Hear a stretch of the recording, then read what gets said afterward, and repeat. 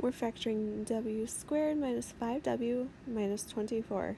Since the 24 is negative, that tells us that the sign in one of our binomials will be positive and one of them will be negative. So we will go ahead and write w plus in one and then minus in the other. Now we're going to find the factors of negative 24 that when added together equal negative 5. So first we'll try 2 and negative 12. When added together that equals negative 10. 4 and negative 6 equals negative 2.